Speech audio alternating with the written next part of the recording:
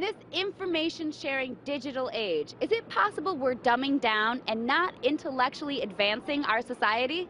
This week, let's talk about that. Do you think it's making society smarter or dumber? Dumber. Why is that? Because people use the smart stuff to do stupid things. Smarter, definitely. How so? Information, sharing of information immediately, which I think is really important. But there's a lot of misinformation being shared too. There and is- people see it on the internet, they think it must be true. Oh, I hope not.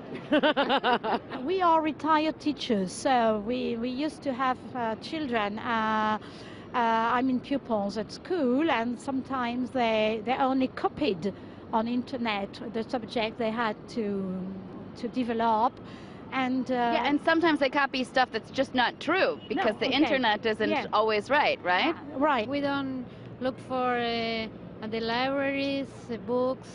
I think I don't know. Yeah, there some publishers are considering making books digitally that have pictures and animations instead of just words now. Do you think that that's going to have an effect? Yes, I think so. Well, if the literature is worth reading, you don't need all that. Right. So why are they doing that? I guess people don't like to read. Do you think that's a product of the information age?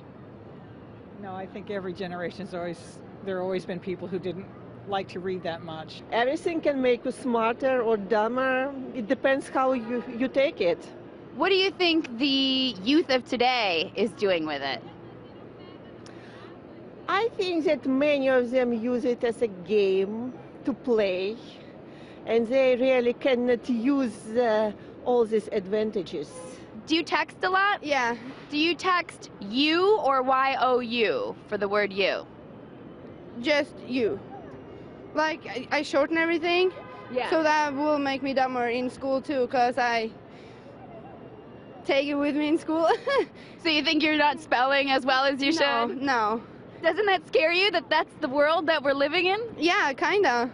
But we're young, so we don't we don't think about it. Whether or not you think this digital age is dumbing down or raising up our society, the bottom line is there's probably not much we can do about it anyway because the internet isn't going anywhere anytime soon.